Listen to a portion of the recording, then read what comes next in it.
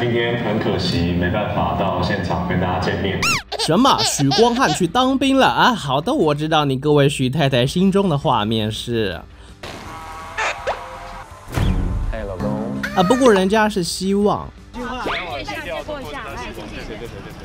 徐光汉势头正旺之际入伍，一举一动都成为焦点。虽说是当兵哦，但许光汉只需要在成功里接受十六天的基础训练就可以结训，接下来就是从事替代役服务。本刊直击有人特地为他举办结训派对。九月七日，许光汉离营后隔天，本刊直击有人为他在餐厅举办包场派对庆祝，呼应主题 dress code 军绿色上衣和黑色短裤，而餐厅也特地拉下铁门。据悉，这是经纪公司特地举办的派对，当天与会也都是公司的亲友，有大人有小孩。除了庆祝许光汉结训，也为到他这几年拼命工作为保整家公司。不过为保护隐私。据悉，店里所有工作人员都被下令不准拿出手机，不让现场照片曝光。聚会直至凌晨一点，许光汉送了门口记者一份大礼。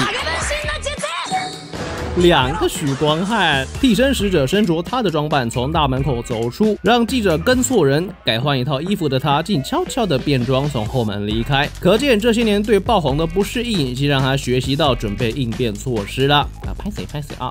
蛮低调的这样，因为他都帽子会压很低这样。同一级的，还隔壁队，就都大家都想要看出他在哪里。九月八号，徐光汉回营后，到了九月十三日才会拨交服刑单位到南投中心新村公益大使团服务。据有人透露，徐光汉蛮开心的，能暂时放下明星身份。毕竟多年忙碌且极度保护隐私的他，难得有回归民间的空档。只是许光汉从军真的就很难低调。